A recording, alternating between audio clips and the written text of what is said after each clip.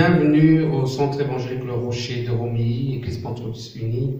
Nous sommes heureux parce qu'aujourd'hui nous voulons encore louer le Seigneur. Euh, ce dimanche matin, dimanche 10 mai, euh, nous sommes venus aujourd'hui pour adorer Dieu, pour glorifier son nom. Et euh, nous allons louer le Seigneur avec, avec Bénédicte et Sœur Pauline. Que le Seigneur vous bénisse et bonne réunion à tous.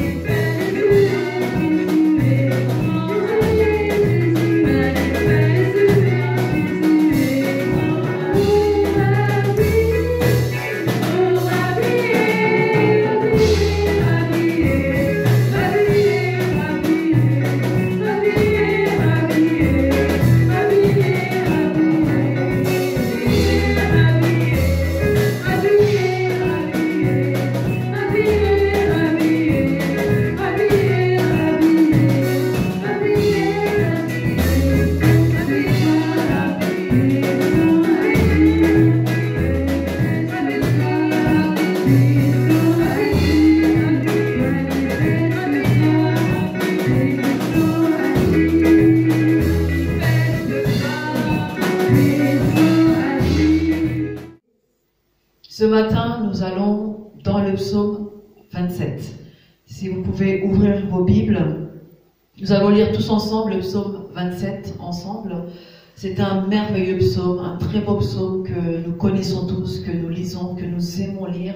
Il est magnifique. C'est un psaume qui nous parle de la pleine confiance que nous plaçons dans le Seigneur. Nous lisons L'Éternel est ma lumière et mon salut. De qui aurais-je crainte? L'Éternel est le soutien de ma vie. De qui aurais-je peur? Quand des méchants s'avancent contre moi pour dévorer ma chair, ce sont mes persécuteurs et mes ennemis qui chancellent et tombent. Si une armée se campait contre moi, mon cœur n'aurait aucune crainte. Si une guerre s'élevait contre moi, je serais malgré cela pleine de confiance. Je demande à l'Éternel une chose que je désire ardemment. Quelle est donc cette prière que David demande? Quelle est donc sa requête? Parce qu'il va demander quelque chose à l'Éternel ardemment, avec un désir ardent. Il va faire une demande à Dieu. Qu'est-ce qu'il désire? Qu'est-ce qu'il demande à Dieu? Quelle est sa prière? Je demande à l'Éternel une chose que je désire ardemment. Voilà sa, sa requête. Je voudrais habiter toute ma vie dans la maison de l'Éternel pour contempler la magnificence de, l'Éternel et pour admirer son temple. Quelle belle demande de David, désirer la présence de Dieu, désirer demeurer toute sa vie dans la maison de l'Éternel. Au verset 5, il dit, car il me protégera dans son tabernacle au jour du malheur. Il me cachera sous l'abri de sa tente. Il m'élèvera sur un rocher. Et déjà ma tête s'élève sur mes ennemis qui m'entourent. J'offrirai des sacrifices dans sa tente, au son de la trompette. Je chanterai, je célébrerai l'Éternel. Éternel, écoute ma voix, je t'invoque. Aie pitié de moi et exauce-moi. Mon cœur dit de ta part, cherchez ma face. Je cherche ta face, ô Éternel. Ne me cache point ta face. Ne repousse pas avec colère ton serviteur. Tu es mon secours. Ne me laisse pas. Ne m'abandonne pas. Dieu de mon salut, car mon père et ma mère m'abandonnent, mais l'Éternel me recueillera. Éternel, enseigne-moi ta voie. Conduis-moi dans le sentier de la droiture à cause de mes ennemis. J'aime cette prière, cette demande. Conduis-moi dans le sentier de la droiture à cause de mes ennemis. À cause de mes ennemis, nos ennemis doivent nous trouver dans la droiture. Doivent nous trouver dans la droiture. Ne me livre pas au bon plaisir de mes adversaires, car ils s'élèvent contre moi de faux témoins et des gens qui ne respirent que la violence. Oh, au verset 13, si je n'étais pas sûr de voir la bonté de l'Éternel sur la terre des vivants. Espère en l'Éternel, fortifie-toi et que ton cœur s'affermisse. Espère en l'Éternel. Nous bénissons l'Éternel pour ce merveilleux psaume et ce que nous aimons beaucoup dans ce psaume, ce sont les trois déclarations que David fait au sujet de Dieu. Il dit qu'il est ma lumière, il est mon soutien. Amen. Il est mon salut. Alors aujourd'hui, on va parler des cinq doigts pour prier. Alors moi, je connais pas, donc moi aussi, je vais apprendre avec vous tous. Oh, j'avais oublié, très bientôt c'est le déconfinement. Alors, euh, je, suis très impatient de tous vous voir et je vous attends. Bonjour les enfants, alors aujourd'hui on va apprendre un verset qui est dans Matthieu 21-22 et qui nous dit Tout ce que vous demanderez avec foi, par la prière, vous le recevrez. On répète encore une fois Tout ce que vous demanderez avec foi, par la prière, vous le recevrez.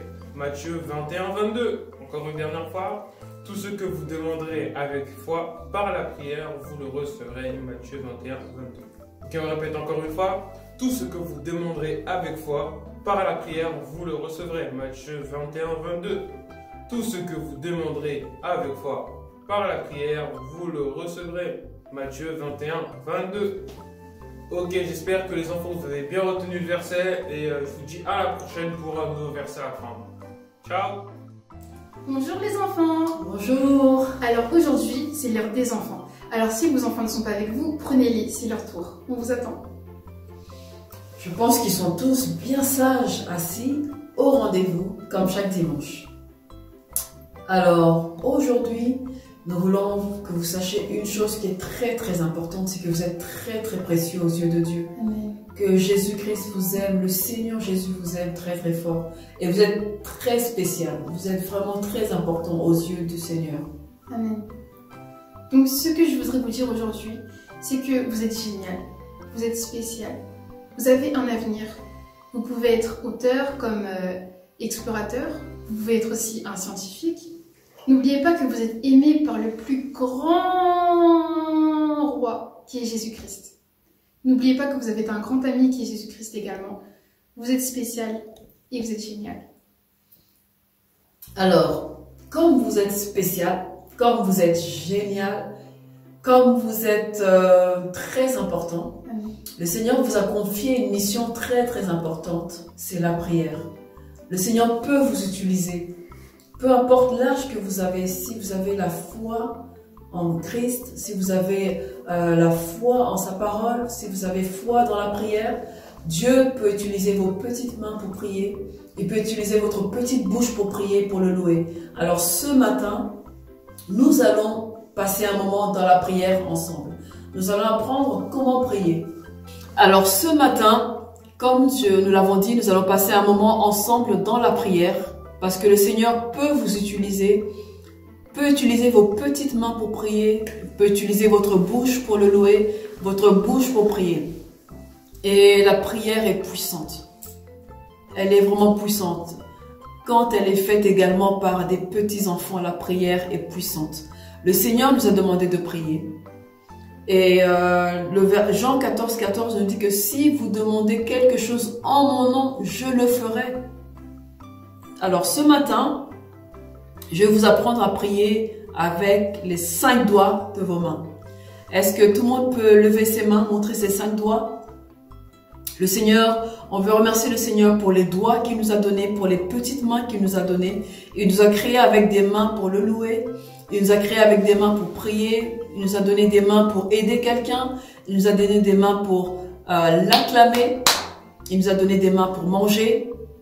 Il nous a donné des mains pour fabriquer, euh, pour peindre, pour colorier, pour écrire. On peut faire beaucoup, beaucoup de choses avec nos mains. On peut faire beaucoup de choses. On peut aider papa et maman. On peut euh, donner euh, du pain à quelqu'un. On peut encourager quelqu'un qui est tombé. On peut relever quelqu'un qui, est- tombé. On peut faire un câlin à quelqu'un qui est triste avec nos mains. Euh, on peut, euh, comme tout à l'heure, Bénédicte vous a dit qu'on peut devenir un explorateur, un scientifique, un auteur. Euh, on peut tout faire avec nos mains. Et on veut remercier le Seigneur ce matin parce qu'il nous a donné des mains pour planter. Alors, nos mains, créées par Dieu, on peut les utiliser également dans la prière. Vous savez, dans la Bible, nous levons nos mains pour le louer. Nous levons nos mains pour célébrer Jésus. Nous pouvons élever nos mains pour l'adorer, n'est-ce pas? Et nous pouvons également euh, utiliser nos mains pour prier. Alors ce matin, sans plus tarder, nous allons utiliser nos cinq doigts pour prier. Alors on va apprendre comment est-ce qu'on peut prier avec les cinq doigts de notre main? Nous allons utiliser le pouce, l'index, le majeur, l'annulaire et l'auriculaire. On va utiliser ces cinq petits doigts pour prier. Premièrement, avant qu'on commence euh, euh, la prière, vous devez savoir que le pouce est le doigt qui est le plus proche de nous. L'index est le doigt qui montre la direction. Le majeur est le doigt le plus long, le plus long de tous. C'est le majeur qui est le plus haut.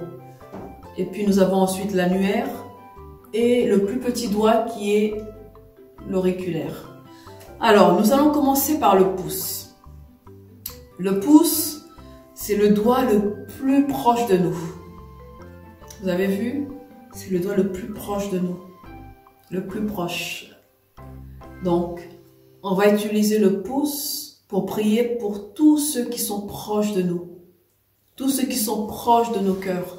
Nous allons prier pour nos parents, nos proches, c'est-à-dire euh, nos parents, euh, nos frères et sœurs, nos amis, euh, notre famille, notre grand-mère, notre papy, notre mamie. Nous allons prier pour toutes les personnes qui nous sont proches. L'index. L'index, c'est le doigt qui nous montre la direction. Alors c'est pour ça que nous allons prier pour que Dieu nous montre la direction, là où on doit aller. Et nous devons prier aussi pour ceux qui sont sur la terre et qui nous montrent aussi des chemins à suivre, comme les professeurs, les maîtres d'école, les maîtresses, les prédicateurs aussi, les monitrices d'école de dimanche, priez pour nous. Et euh, parce que c'est eux aussi qui ont besoin de sagesse, parce que c'est eux qui apprennent euh, aux enfants ce qu'il faut faire, ce qu'il ne faut pas faire. Ensuite, nous, avons- nous arrivons au troisième doigt. Comme vous le voyez, il est le plus haut. Et cela nous rappelle les autorités, ceux qui sont au-dessus de nous. Et nous allons pr- prendre le majeur pour prier pour les autorités, ceux qui nous gouvernent, euh, le président euh, de la République. Nous prions pour les autorités spirituelles, le pasteur, nous prions pour notre pasteur. Et nous voulons prendre du temps pour prier pour tous ceux qui sont euh, au-dessus de nous, tous ceux qui nous dirigent. Amen. Parce que la Bible nous demande de prier pour les autorités. Maintenant, l'annuaire. C'est le doigt le plus faible. C'est un doigt qui a besoin d'être porté par les autres doigts. Et ça veut dire que nous devons prier pour ceux qui ont besoin d'aide. C'est-à-dire les malades, ceux qui sont souffrants, ceux qui sont seuls, ceux qui sont isolés. Ils ont besoin d'aide. Et donc du coup, nous voulons prier pour les plus faibles. Amen. Et pour finir, nous arrivons au cinquième doigt, qui est le plus petit de tous. Et ce petit doigt nous rappelle que nous sommes petits devant Dieu.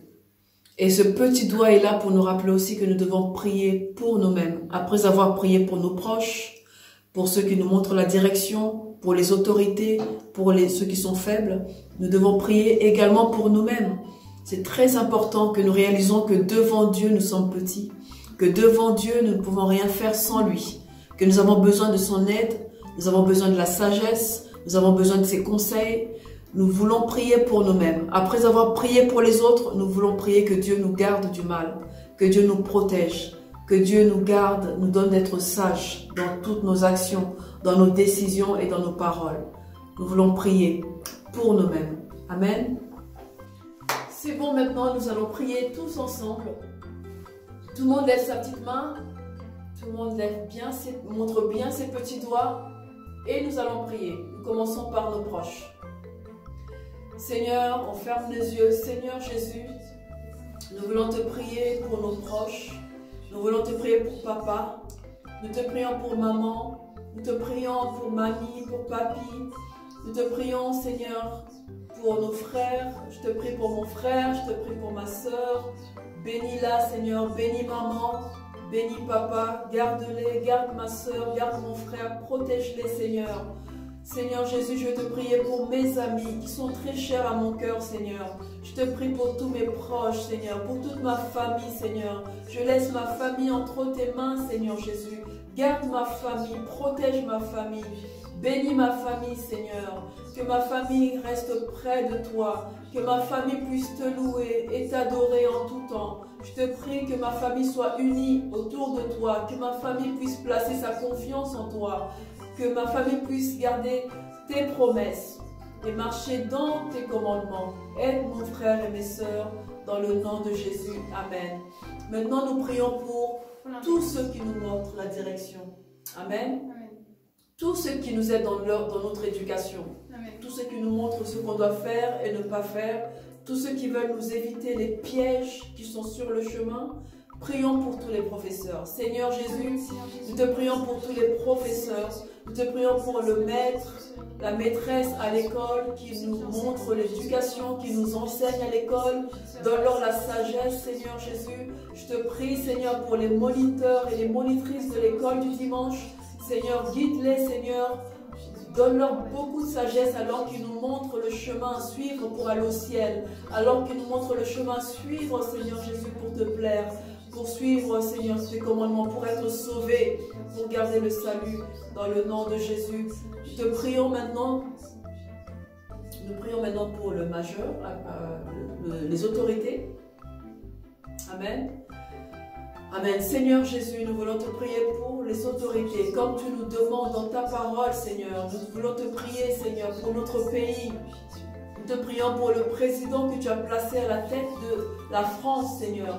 Nous te prions pour le Premier ministre et pour tous les élus qui gouvernent et dirigent la France, Seigneur. Ils ont besoin de toi, Seigneur. Tu vois les décisions qui sont devant eux pour le bien du pays, pour l'économie du pays. Seigneur, pose ta main sur le président. Nous te prions pour notre pasteur, Seigneur. Seigneur, tu nous as donné un berger, tu nous as donné un pasteur, Seigneur, qui est notre berger, qui veille sur nos âmes, qui veille sur nous, qui nous montre la direction que qui nous montre, Seigneur, la direction à suivre, qui nous guide, Seigneur, qui nous conseille par ta parole, Seigneur, qui nous enseigne, qui nous prêche ta parole, Seigneur, chaque semaine, semaine après semaine, mois après mois. Seigneur, fortifie notre pasteur, Seigneur. Renouvelle ses forces, Seigneur Jésus. Bénis sa famille, Seigneur, dans le nom puissant de Jésus. Amen. Maintenant, nous voulons prier pour, euh, avec ce doigt euh, qui concerne tous les faibles, tous les malades, l'annuaire, exactement. Alors, prions tous ensemble. Seigneur Jésus, nous voulons te prier pour tous ceux qui sont malades, ceux qui sont seuls, ceux qui vivent dans la solitude, ceux qui sont handicapés, Seigneur, ceux qui n'ont personne pour les aider. Nous te prions, Seigneur, de guérir, de fortifier, d'encourager, Seigneur, ceux qui sont découragés. Relève, Seigneur, ceux qui sont fatigués. Seigneur, nous te prions, Seigneur, pour tous ceux qui sont dans les hôpitaux, tous ceux qui souffrent, Seigneur. Nous te prions, Seigneur, de les couvrir de ton sang qui a coulé, de les couvrir de ton sang précieux, ton sang qui guérit, ton sang qui protège, ton sang qui délivre. Seigneur Jésus, nous te prions, Seigneur, de les entourer de tes bras d'amour. Nous envoyons tes anges, Seigneur Jésus, pour les fortifier dans le nom de Jésus. Amen. Et pour finir, enfin, nous allons prier pour nous-mêmes. Amen. Seigneur Jésus, nous sommes devant toi, Seigneur. Nous avons prié pour les autres, mais nous avons aussi besoin de toi, Seigneur.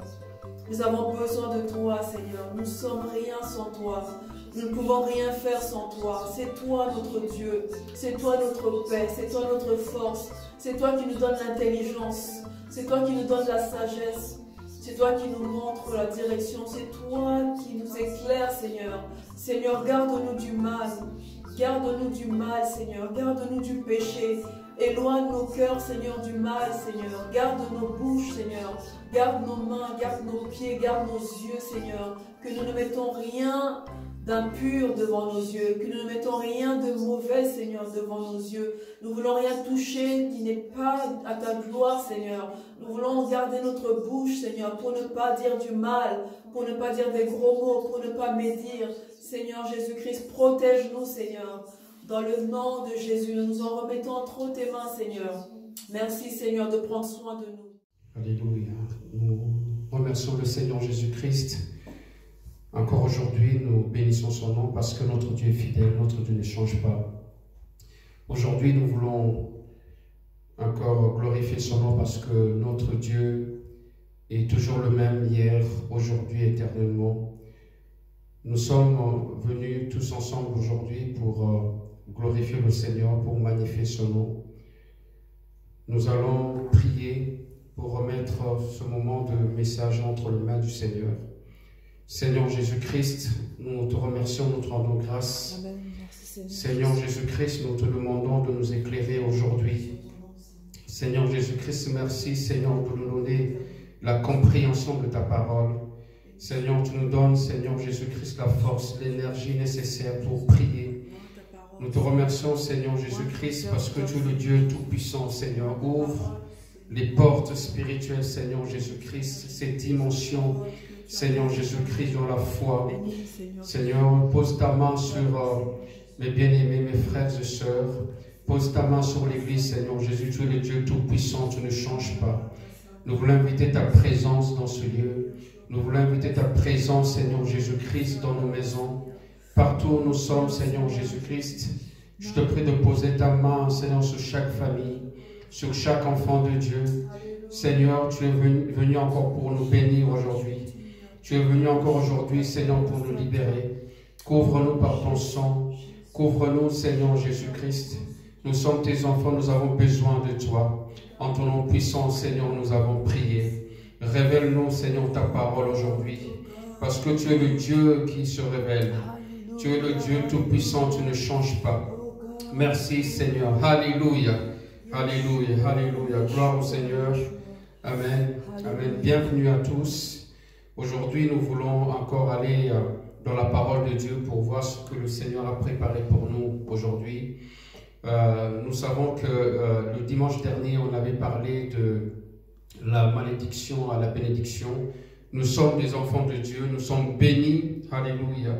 Mais laissez-moi vous dire que cette semaine, nous traversons une période très très difficile, particulièrement le fait que j'avais après cette nouvelle de, mon ami qui est, décédé, mon ami, mon partenaire de, dans la prière que j'aime bien, euh, frère Emmanuel Enyenge, je, vais vous partager le message aujourd'hui, mais avec, euh, euh, beaucoup de tristesse. Mais nous savons que là où il est, il est plus près du Seigneur et il n'y a pas de mots pour cela. Mais aujourd'hui, nous allons ouvrir la parole de Dieu. On va lire aujourd'hui dans le livre de, Marc. Mais avant de Marc chapitre 9, à partir du verset 2, euh, aujourd'hui on va parler de, de, la prière et prier avec, euh, avec révélation. Et euh, on va voir la signification de la montagne, monter sur, sur une montagne spirituelle. Et vous savez que euh, nous sommes arrivés dans une période où on a besoin plus du Seigneur. On a besoin de, prier, de prier sans cesse. Parce qu'il y a des choses qui se passent autour de nous que nous ne comprenons pas beaucoup. Mais la seule chose que nous savons aujourd'hui, que notre Dieu est fidèle. Notre Dieu est toujours le même. Alléluia. Et il est là avec nous. Alors, je vais vous parler de la montagne. La montagne dans la Bible, vous savez que la montagne, c'est un lieu où, où l'homme rencontre Dieu. C'est un lieu où l'homme rencontre Dieu. La montagne, c'est un symbole. Euh, vous savez qu'il se passe plein, plein, beaucoup de choses dans, dans les montagnes. Sur, euh, sur, euh, sur la montagne, que Dieu, c'est sur la montagne que Dieu révèle son nom. Dieu a révélé son nom à Moïse. C'est là qu'il qu lui a donné euh, les dix commandements et aussi il se révélait à Élie. La montagne dans la Bible, c'est un, un, lieu où l'homme rencontre Dieu euh, comme une sorte de lien entre le ciel et la terre. Amen. Alléluia. Amen. Où l'homme s'élève vers Dieu et où Dieu euh, se penche vers l'homme. J'aime bien cette déclaration. Où l'homme euh, s'élève vers Dieu et où Dieu se penche vers l'homme. Alors nous lisons dans Marc euh, chapitre 9, à partir du verset 2, nous allons faire une très longue lecture. Euh, que le Seigneur nous aide. Verset 2, six, six jours après, Jésus prit avec lui Pierre, Jacques et Jean et les, les conduisit seuls à l'écart sur une haute montagne. Il fut transfiguré devant eux. Ses vêtements devinrent resplendissants et d'une telle splendeur qu'il n'est pas de foulant sur la terre qui puisse blanchir ainsi. Au verset 4, Élie et Moïse leur apparurent. S'entretenant avec Jésus, Pierre, prenant la parole, dit à Jésus, Rabbi, il est bon que nous soyons ici, euh, dressons trois tentes, une pour, moi, une pour toi, une pour Moïse et une pour Élie. Car ils ne savaient que dire, les froids les ayant saisis, une nuée vint les couvrir, et de la nuée sortit une voix. Celui-ci est mon fils bien-aimé, écoutez-le. Aussitôt les disciples regardèrent tout autour et ils n'avaient, et que Jésus seul avec eux. Comme ils descendaient de la montagne, Jésus leur recommanda de ne dire à personne ce qu'ils avaient vu jusqu'à ce que le Fils de l'homme fût ressuscité des morts.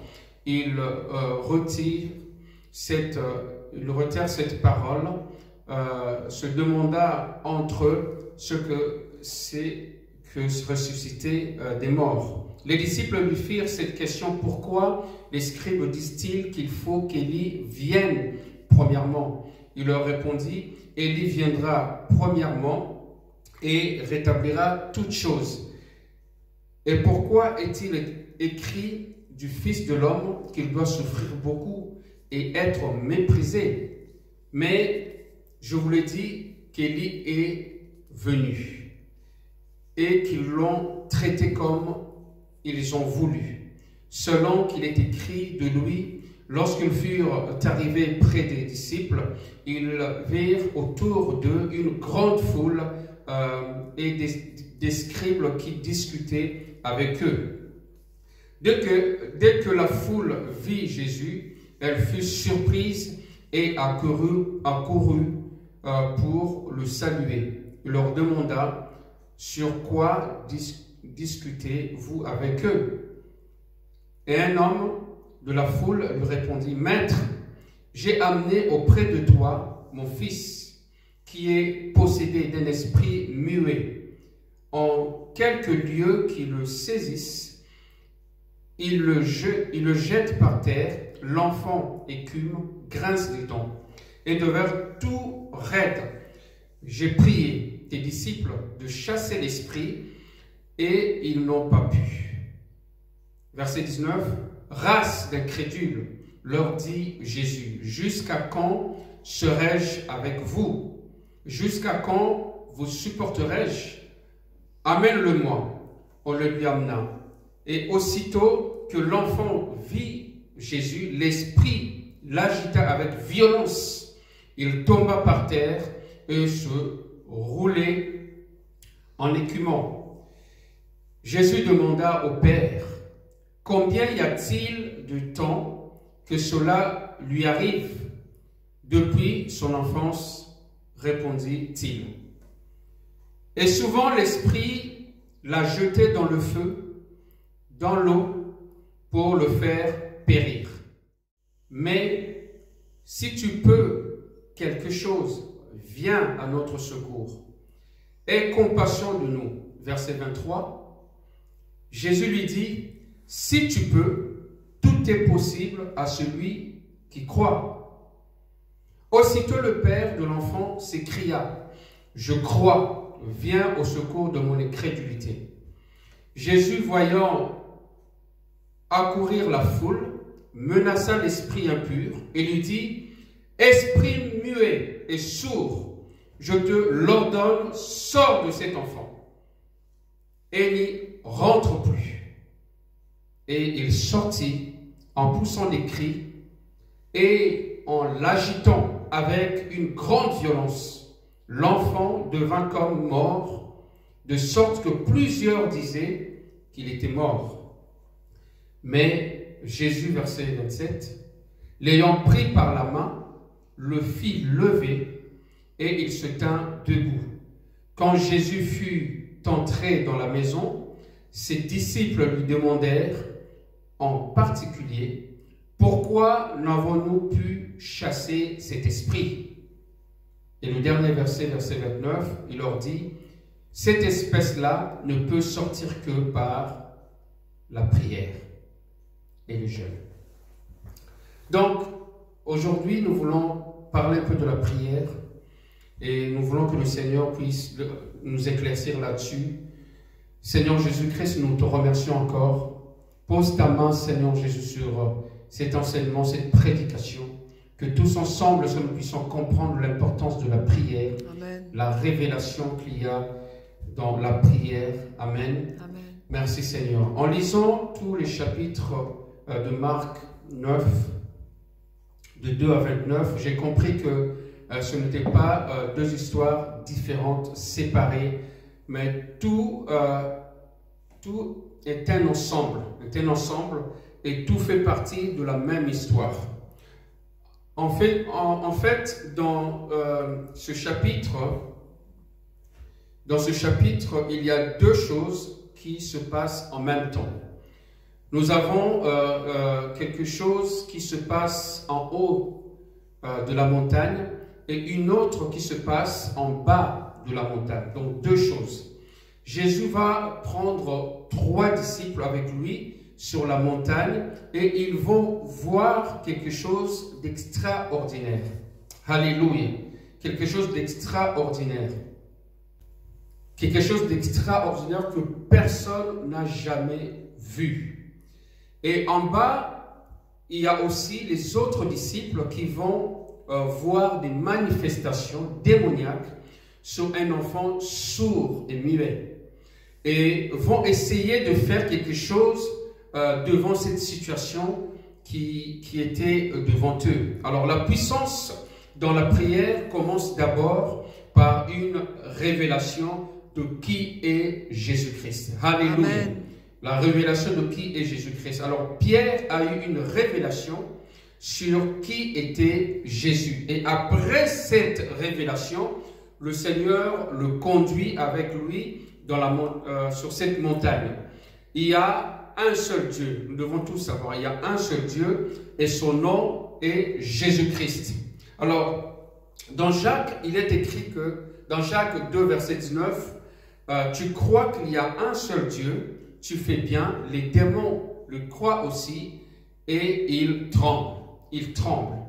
Les disciples qui étaient en bas euh, de la montagne connaissaient bien Jésus-Christ parce qu'ils ont marché avec lui, ils ont vu des grandes choses, ils ont vu des miracles et avaient déjà eu l'occasion euh, de voir des miracles que opérait Jésus-Christ. Mais cette fois-ci, ils, euh, font face à des difficultés qu'ils n'ont jamais rencontrées euh, auparavant. Ils font face à des esprits qui résistent. Et pour cela, le Seigneur va leur donner la révélation, Amen, la révélation euh, qui leur manque. Alors, c'est l'association du jeûne euh, et euh, la prière. Amen. Alléluia. Amen. Amen. Ils ont euh, dépensé leur énergie, ils ont tout fait pour traiter le problème et pourtant rien ne marche. Qu'est-ce qui ne va pas? Que se passe-t-il réellement? Donc ici, nous avons besoin de prier avec révélation. Nous avons besoin de prier en connaissant qui est Jésus-Christ réellement. Alléluia.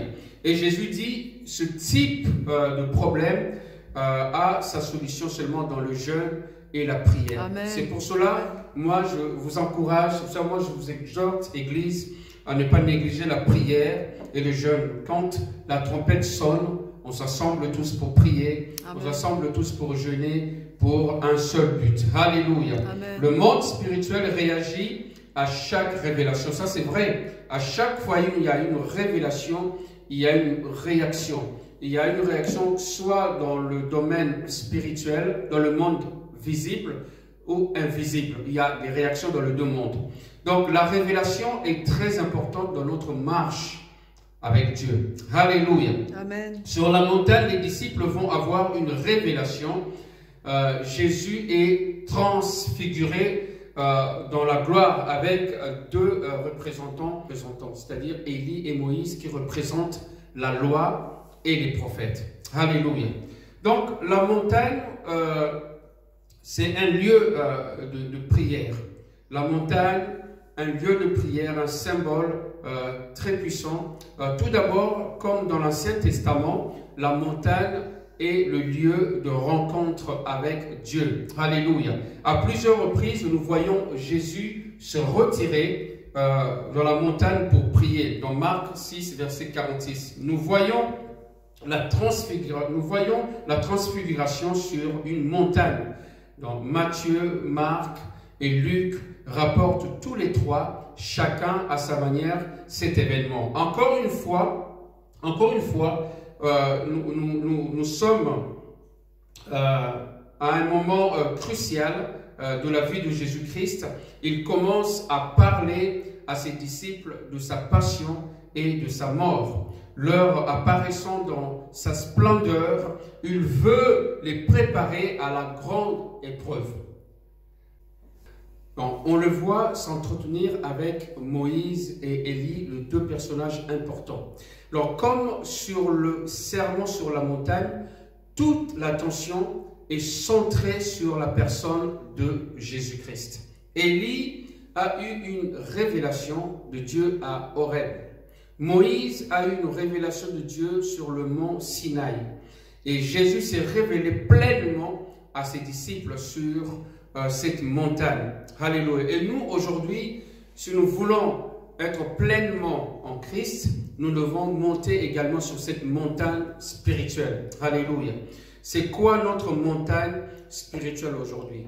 C'est quoi notre montagne intérieure aujourd'hui? C'est la prière. Amen. La prière euh, de Jésus est euh, intimement liée à l'image de la montagne. À notre tour, nous sommes invités à monter à la montagne du Seigneur. Alléluia. Merci Seigneur. Comme le, randonneur sur la montagne, euh, il sait le nombre d'efforts qu'il va devoir fournir euh, pour monter, pour gravir. Euh, ce n'est pas facile de monter sur, sur la montagne. C'est parfois une lutte. Il faut tenir, il faut euh, continuer, il ne faut pas baisser les bras. Parfois la fatigue est là, euh, euh, qui te pousse à s'arrêter. Donc, qui te pousse à s'arrêter. Prier n'est pas facile, mais c'est une discipline. On doit continuer. Alléluia. On doit lutter. Mais la vision du sommet est déjà là. Il faut continuer. Il faut gravir cette montagne. Il sait aussi qu'il devra euh, se charger le moins possible, déposer tous ses fardeaux à la croix. Alléluia. Comme on chante souvent, je dépose à tes pieds tous mes fardeaux. Et qu'il devra euh, emporter euh, des vivres, c'est-à-dire la parole de Dieu. Amen. La parole de Dieu est hautement euh, énergique pour nous aider à aller plus loin. Il sait enfin qu'il a besoin d'un guide. Son guide, c'est le Seigneur lui-même. Alléluia. Et nous devons placer notre confiance en Jésus-Christ quand nous sommes sur cette montagne. Amen. Il en va de même pour celui qui s'engage sur le chemin de la prière. Il sait que c'est un chemin qui est difficile, mais avec Jésus-Christ, tout est possible. Amen. Alléluia. L'Église va de l'avant. L'Église est victorieuse. L'Église ne change pas. L'Église sera toujours plus près du Seigneur. Alléluia. Amen. Merci Seigneur Jésus-Christ. Alléluia. Amen. Amen. Ch- Chacun maintenant saura euh, découvrir en lui-même euh, ceux qui euh, l'encombrent, euh, quel péché euh, euh, place des obstacles. Vous savez, il y a des choses qui nous empêchent de, de gravir cette montagne. Il y a des choses qui nous empêchent euh, d'aller jusqu'au sommet parce que nous avons cette charge. Nous avons euh, des choses qui, qui, qui pèsent tellement sur nous et nous devons savoir comment le décharger. Alléluia. Nous pouvons prier avec intensité, mais nous faisons face aujourd'hui à des choses dans notre société qui viennent avec beaucoup euh, de résistance contre la foi. La prière doit nous aider à ôter toutes ces choses-là. Amen. Amen. Le premier pas que nous, nous faisons dans la prière, c'est d'abord dans la simplicité. Une personne qui prie, une personne qui intercède, une personne qui est sur cette montagne doit être une personne simple. Alléluia. Amen. Dans la simplicité, parler avec Dieu, euh, converser, échanger. Ce n'est pas euh, poussé euh, par, le- par, par l'émotion, mais c'est réellement une vraie expérience avec le Seigneur. C'est une relation qui est établie. Amen. On Amen. parle à Dieu partout où nous sommes, on s'exprime, que ce soit dans la, dans, dans la voiture, à la maison, partout, même quand on se promène, même, même quand on cuisine, même dans sa chambre, nous pouvons être en relation avec Dieu. Alléluia. Même sur un terrain de sport, on peut toujours être en contact à- avec Dieu. Amen. Le Seigneur est vraiment un ami un Amen. ami fidèle. Le Seigneur, euh, c'est un soutien, Amen. euh, un confident. Amen. Amen. Et nous voulons prier avec discernement. Nous voulons continuer à prier avec sagesse, avec révélation. Amen. Regardez avec moi dans 1 Pierre, euh, chapitre 4, verset 7, la Bible nous dit, la fin de toute chose est proche. Soyez donc sages et sobres pour vaquer à la prière. Sobre, être sobre, c'est être euh, calme euh, et concentré en esprit. Amen. Juger toutes choses selon la parole et non selon la foule. Euh, veiller sur ses pas, euh, garder son cœur, ne pas se laisser emporter euh, à tout vent de doctrine. Être sobre, c'est avoir la pensée claire, les yeux ouverts pour vaquer à la prière avec, avec simplicité. Pour vaquer à la prière. Que signifie vaquer à la prière? Signifie s'occuper de, se donner à la prière. Alléluia. Corps, âme et esprit. Amen. Dans Romains 8, verset euh, 26, la Bible dit, de même aussi l'Esprit nous aide. Merci Seigneur pour ton Esprit. L'Esprit nous aide euh, dans notre faiblesse. Voyez-vous, vous êtes faible. Voyez-vous, vous êtes découragé. Voyez-vous, vous avez prié, vous avez euh, euh, demandé au Seigneur et vous êtes, vous êtes affaibli. Vous êtes, vous êtes affaibli euh, physiquement. Vous êtes affaibli euh, spirituellement. Vous êtes affaibli moralement. Laissez-moi vous dire que c'est là que Dieu est prêt maintenant pour vous aider. Là où vous êtes, ne, ne, ne baissez pas les bras. Alléluia. Parce que vous servez un Dieu qui est puissant. Que Jésus-Christ soit votre force aujourd'hui, là où vous êtes. Amen. Que Jésus-Christ vienne dans votre vie. Alléluia. Pour, pour vous redonner la force et vous relever. Car nous ne savons pas ce qu'il nous convient de demander dans nos prières, mais l'Esprit lui-même intercède. Alléluia intercède à notre place. Comment Par des soupirs inexprimables. Alléluia. Merci Seigneur pour ton esprit. Alléluia. Amen. Vous savez qu'il y a, il y a plusieurs types euh, de prières. Plusieurs types de prières. C'est vrai que quand nous prions, nos prières doivent être euh, euh, profondes. Euh, quand nous prions, euh, notre attitude, attitude doit refléter notre vie de prière. Oui. Notre comportement doit Amen. refléter notre vie de prière, la façon dont on parle aux gens, Amen. la façon, les, la- la re- les relations que nous avons avec les gens euh, doivent euh, refléter notre vie de prière. C'est bien de prier, mais c'est bien, c'est- très bien de, c'est encore mieux de, de vivre la prière. Amen. Voilà, voyez-vous, donc Jésus-Christ ne priait pas seulement, mais il vivait la prière. Alléluia. Amen. Donc, le premier point, la prière d'intercession. La prière d'intercession, intercéder, c'est se tenir à la brèche, Euh, faire le pont entre celui qui a euh, un besoin et Dieu. Et vous, vous êtes cette personne-là qui prie pour euh, euh, les autres qui ont, qui ont des besoins. Et vous devez avoir un cœur pur. Vous devez avoir un esprit bien dis- disposé. Vous devez avoir une attitude correcte parce que vous vous mettez entre euh, ceux qui ont des besoins et celui qui rémunère, celui qui donne. Alléluia. C'est Dieu. Amen. Amen. Être un, un- un intermédiaire entre les hommes et Dieu dans la prière, porter les fardeaux des autres, porter les besoins des autres, leur situation, leurs conditions, leurs problèmes, leurs difficultés. Vous savez, il y a des gens qui sont tellement euh, égaux, ils, ils regardent que leur vie, ils regardent que sur eux. Euh, Laissez-moi vous dire, Dieu nous a appelés à être entre lui et les autres. Amen, Alléluia. C'est ça notre amen. ministère. Amen. Alléluia. Ésaïe 59, verset 16, la Bible dit ceci, il voit qu'il n'y a pas un homme. Il voit qu'il n'y a pas un homme. Il s'étonne de ce que personne intercède. Voilà, les, gens se sont refroidis aujourd'hui.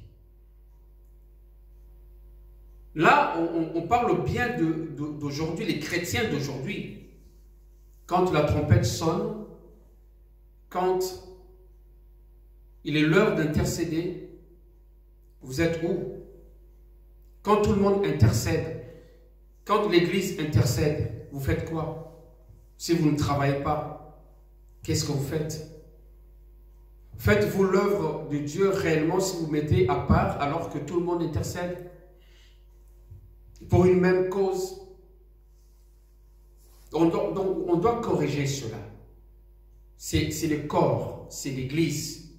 Quand la trompette sonne, on doit tous être là pour intercéder. Alléluia.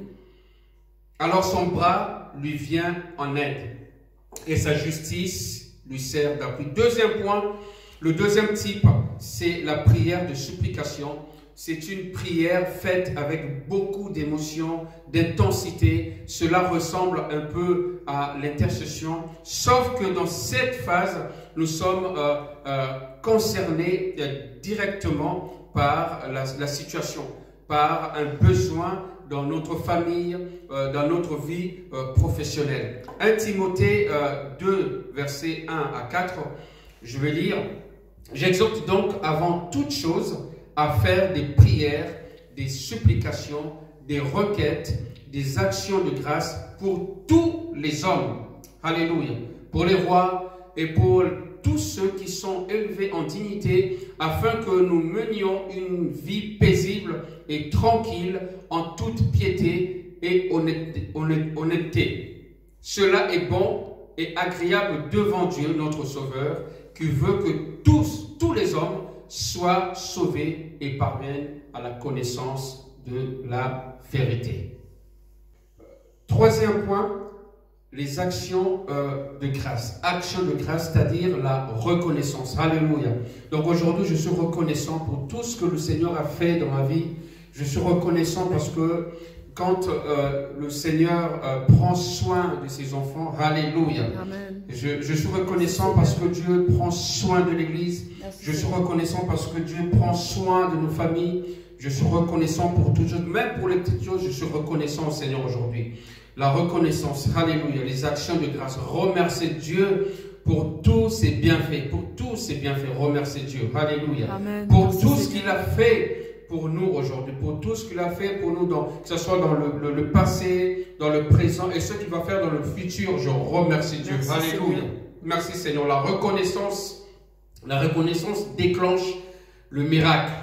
La reconnaissance déclenche beaucoup de choses. La reconnaissance augmente même notre foi. Amen. Il ne faut pas passer euh, au problème suivant sans savoir s'arrêter, même une minute, même dix minutes, comme vous voulez, pour remercier le Seigneur pour ce qu'il a fait dans votre vie, pour ce qu'il a fait hier, pour ce qu'il est en train de faire maintenant et ce qu'il va faire demain. Alléluia. Je m'arrête une minute Amen. je m'arrête 10 minutes, je m'arrête une heure. Je te remercie, Seigneur, parce que tu es infiniment grand, parce que tu pourvois. Alléluia. Amen. Parce que tu guéris. Amen. Parce que tu guéris. Alléluia. Peu importe ta maladie, Dieu peut te guérir maintenant. Peu importe ta situation, mon Dieu est capable. Alléluia. Amen. Notre Dieu est capable. C'est vrai que euh, dans euh, les derniers temps, les derniers jours qu'on est en train de vivre aujourd'hui, beaucoup de gens euh, ont perdu la foi, beaucoup de gens sont refroidis. Laissez-moi vous dire que Dieu est toujours Dieu. Dieu ne changera pas. Même si les situations sont tellement catastrophiques, Dieu restera toujours Dieu. N'abandonnez pas la foi. Gardez la foi. Point 4, le type, quatrième type de prière, ce sont les requêtes. Les requêtes de prière. Aussi appelées la pétition. Les requêtes ou la, la, euh, la- pétition.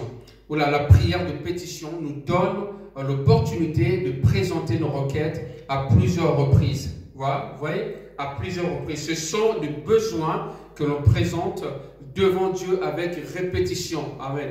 Il ne faut pas se lasser avec répétition jusqu'à ce que le Seigneur descendra. Jusqu'à ce que le, Seigneur- le Seigneur répondra. On répète et on répète jusqu'à jusqu'au résultat. Alléluia. Jusqu'à l'obtention de la réponse. Que cela euh, prenne un an, euh, deux ans, euh, je ne sais pas, cinq ans. J'attends. Alléluia. Je ne bougerai pas. Je reste là. J'attends jusqu'à ce que le Seigneur répondra. Et je crois qu'il répondra parce que mon Dieu est vivant. Parce que mon Dieu est réel. Alléluia. Merci, Seigneur. On ne se décourage pas. On ne baisse pas les bras parce que le secours de l'éternel est là. Amen. Cinquième point, la prière de consécration. Alors, en parlant de consécration, je- j'aimerais être vraiment bien clair là-dessus.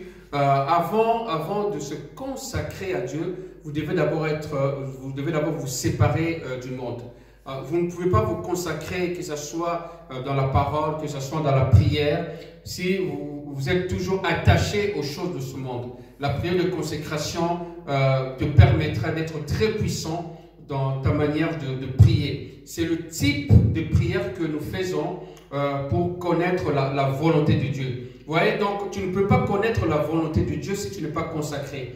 C'est seulement les, ceux qui sont consacrés qui pénètrent la volonté de Dieu. Donc vous comprenez, vous devez vous séparer du monde, euh, les plaisirs du monde. Il ne faut même pas euh, chercher à couvrir les péchés. Il ne faut pas chercher ça.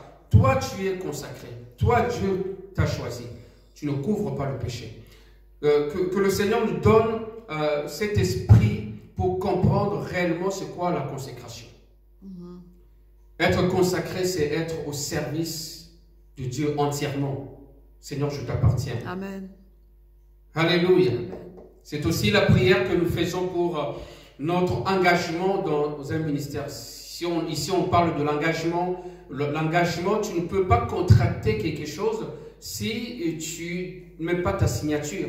C'est quoi ta signature aujourd'hui? Est-ce que tu as mis ta signature, ton engagement avec le Seigneur? Est-ce que là où tu es, est-ce qu'on voit ta signature?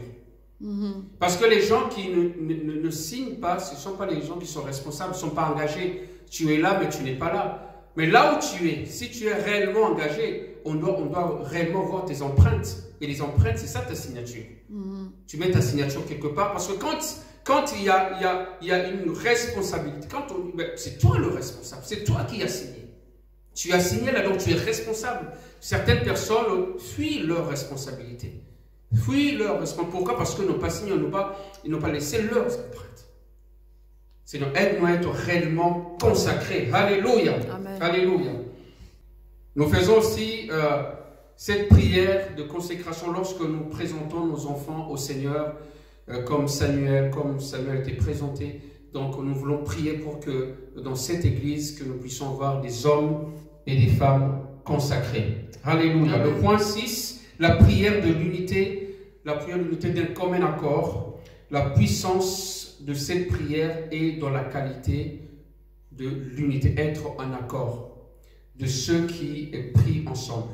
Quand on est en accord, on prie ensemble, Dieu descend. Alléluia. Amen.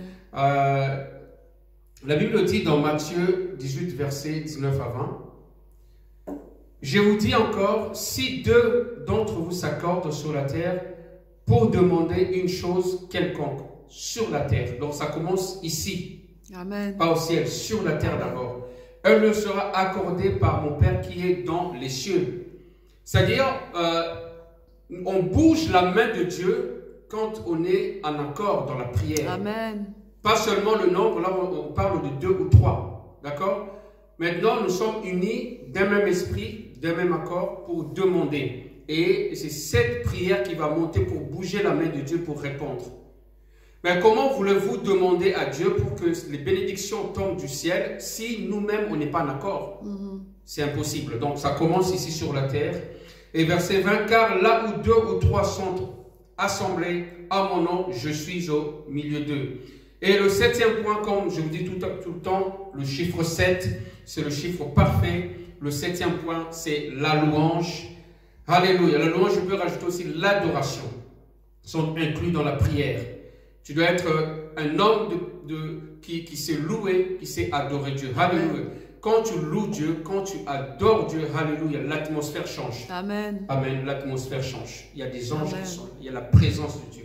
Alléluia. Louer Dieu. Adorer Dieu. Amen. Pour ceux qu'il est, sans se focaliser sur nos besoins, louer et glorifier le nom du Seigneur.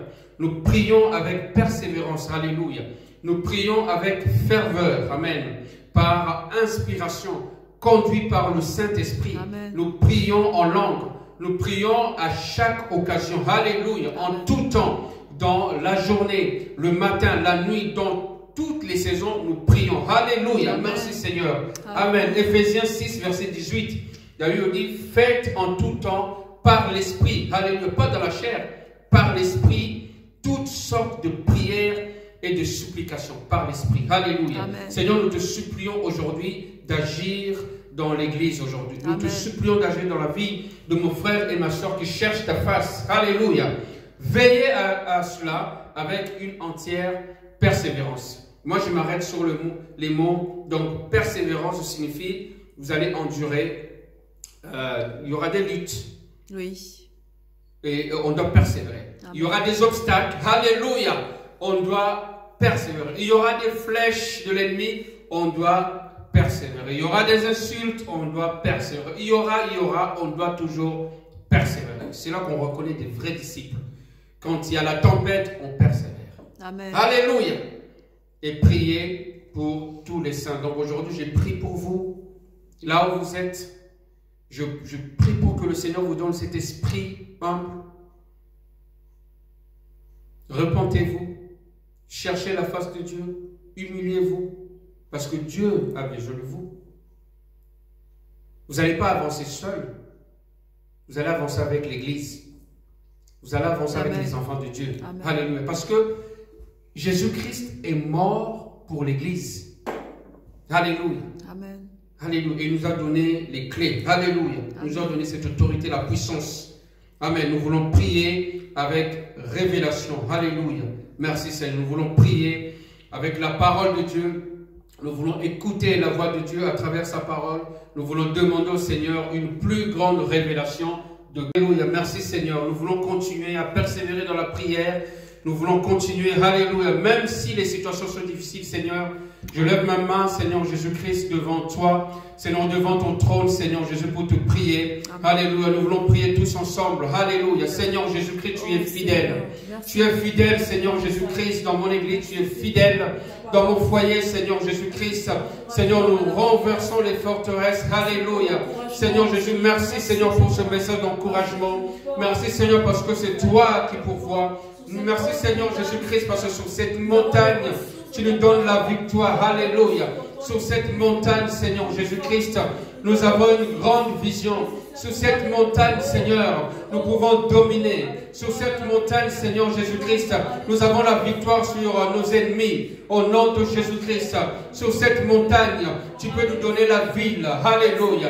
Sur cette montagne, tu peux nous donner la ville de Romilly. Sur cette montagne, tu peux nous donner la France. Tu nous donnes Romilly, la France. Alléluia. Sur cette montagne, tu nous donnes la famille. Alléluia. Crois et tu seras sauvé, toi et toute ta famille. Au nom de Jésus-Christ. Merci pour la révélation. Alléluia. Merci pour la révélation de ta parole. Merci Seigneur Jésus-Christ. Alléluia. Nous ne voulons pas douter aujourd'hui. Béni soit le nom de l'Éternel. Amen. Merci Seigneur. Alléluia. On acclame le Seigneur Jésus-Christ. Notre Dieu est fidèle. Amen. Gardez la foi. Amen. Amen. Gardez cet esprit de prière. Alléluia. Euh, tous les jours, prenez euh, euh, une heure, 30 minutes, 15 minutes. Si vous voulez deux heures pour certains, euh, prier, entrer dans cette relation avec Jésus-Christ, Alléluia, sur cette montagne, et puis mettez-vous euh, en, en relation avec lui, commencez à lui parler, parce que je suis sûr et certain que vous allez trouver le reconfort, vous allez trouver la paix, la joie, Alléluia, tout ce dont vous avez besoin. Alléluia. On dit qu'on chante, Amen, il tient toutes choses entre ses mains, il tient le monde, il tient nos vies entre ses mains, il tient ma famille entre ses mains, mes enfants entre ses mains, Alléluia. Mes projets, tout entre ses mains, Alléluia. Aujourd'hui, je vous demander de donner votre vie à Jésus-Christ là où vous êtes, Alléluia. Vous pouvez fermer les yeux et dire, Seigneur Jésus-Christ, je viens devant toi. Seigneur, jadis, j'ai marché sans toi et aujourd'hui, à la lumière de ta parole, Seigneur, je vais te demander pardon. Je vais confesser mes péchés parce que je sais que, Seigneur, tu reviens bientôt, je ne sais pas quand, mais Seigneur, je vais te donner ma vie. Alléluia. Je vais marcher avec toi, Seigneur. Seigneur, garde mes enfants, protège mes enfants, Seigneur Jésus-Christ. Seigneur, aujourd'hui, Seigneur, je veux, Jésus-Christ, marcher avec toi. Seigneur, révèle-toi puissamment dans ma vie et que ma vie, Seigneur Jésus-Christ, soit un sujet de joie, d'allégresse. Alléluia. Seigneur, enlève la tristesse. Enlève, Seigneur Jésus-Christ, tout ce qui m'accable aujourd'hui pour que je puisse marcher avec toi. Au nom de Jésus-Christ, nous disons tous Amen. Amen. Que le. Seigneur vous bénisse. Amen.